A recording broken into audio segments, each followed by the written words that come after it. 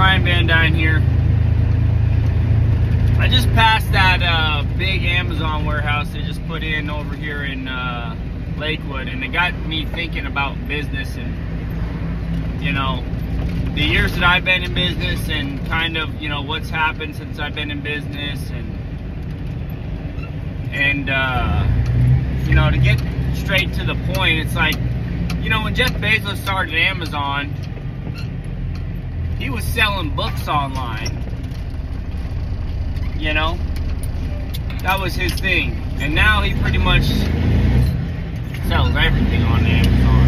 Like, you can pretty much buy anything on there. From truck parts to groceries. Uh, and, you know, that's kind of like how when I started business, first thing I was doing was I was working for excavation contractors, you know. Uh, a lot of basement dig outs is what I was rented on. Either they were doing basement dig outs or I did a lot of utilities too. My first year, and then my second year, it was basically all paving. My second summer was almost all paving. And then by my third year of business, I bought the super dump, and then I started working for the rock quarry. And, uh, you know, ever since, that's what I've been doing mainly. It's just working for the rock quarry. And, uh, you know, so when you go into business, and you go buy a truck, you know, you think you're going to be doing this specific thing. So you kind of want to spec your truck out for this one specific thing but the problem is, is if you spec it out to a certain aspect of the industry, kind of locked into that aspect. You know, it doesn't allow you to move around as much, uh, you know, and find what you really want to do and what you really like doing. You know, for example, if I would have bought a truck with an aluminum box, uh, you know, I probably never would have did a lot of the demolition uh, utility work that I did because they were putting big chunks of concrete in my truck. You know, and having a steel box was almost a necessity. Um, if if you know if I would have started with the side dump, I wouldn't have done no paving at all. You know, it's just when you go into business, you have to think about what kind of niche you want to be in. You know, what kind of stuff you think you see yourself being, you know, doing. And then you got to kind of gear it towards that, but also buy a truck that's versatile. You know, Super Dump's a great truck to buy in Washington but at the same time, they're not very versatile because you're not putting concrete in one. The, the beds are too thin. You know, you're not putting boulders in there. You know, uh,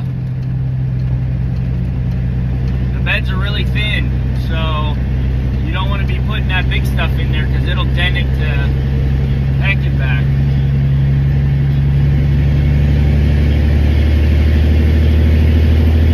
You know, if you get a side dump don't plan on doing asphalt. Nobody hires a side dump for doing asphalt. So it's just those little things you got to kind of think about.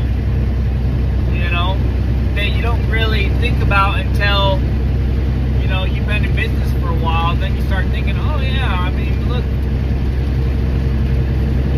When I first started with the solo truck, no wonder I wasn't working for the rock quarry because they don't they pay by the ton, and I couldn't haul enough weight for it to be worth it. You know. So there's lots of little ins and outs that you learn as you go along in business. You know, that make your business more profitable, more profitable, more versatile, and uh, you know. So I I would just you know, you can buy a specialized truck, but just know you're only going to be doing that one thing. You're not going to be able to move around within the industry unless you buy another truck. You know, and we all know trucks are not cheap. So it's uh you know, you kind of get locked into doing one particular thing. And the other thing, my other advice I'd give to you is, you know, don't don't limit yourself to one customer or two customers. You know, try and get as many customers as you can. You know, get your name out there because you don't want to put all your eggs in one basket. I mean, that's how you trip and fall and crack them all.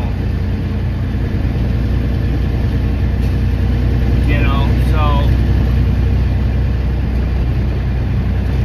don't put all your eggs in one basket. Anyways, guys, that's what I wanted to tell you. Thanks for tuning in. I'll catch you guys on the next one. Don't forget to like, comment, and subscribe. And Share this on your social media site of preference. Now, I will catch you guys on the next one.